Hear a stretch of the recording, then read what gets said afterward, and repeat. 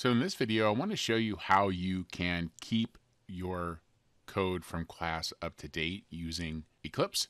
So if you've imported the project from GitHub that has all of the course code in it, then following the directions in this video will help you keep that up to date.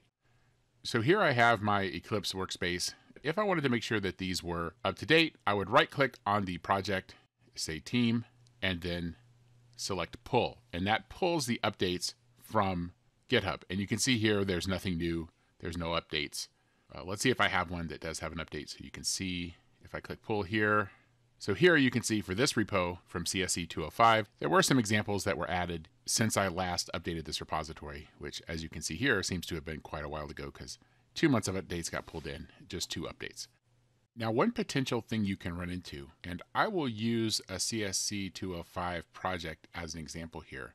Suppose I'm doing some work on this and let's say I make some sort of change to my project. So let's say there's something else I want to try here. And so I'm going to add that extra example to this set of test strings. Again, the exact change doesn't matter. That's not the focus here. If I left click on the file and then say compare with head revision, that'll actually show me the difference in my file. And you can see if I scroll down, you, you see where it shows that I added this example here. So this is kind of a nice way to see, okay, what's actually changed between what I have and what's stored online. But it turns out that I actually made a change to this file that I should be able to pull. So if I go to team and then pull, it's going to reject it because there's a conflict. And what that means is this file was updated on GitHub and then I have an update here. And so it doesn't know which one of those to pull. Now, there's a lot of ways I can handle this, and what I'm going to try to do here is just make this as simple as possible. My recommendation would be to make a copy of your file.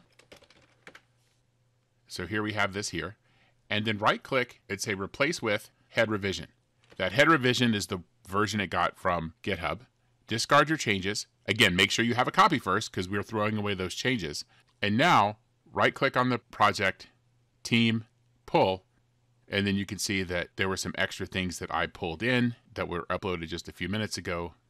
So now I have those changes. So now if I look at this project 4 that's not a copy, it's this that was changed that I added, I believe. So if I look at what's there, yeah, so you can see that the copy has this CSC, the new version has this extra test string, and I could decide whether or not I want to add this back to the original. But again, by making that copy, I can go ahead and pull everything down from the repository and then add my changes back as necessary.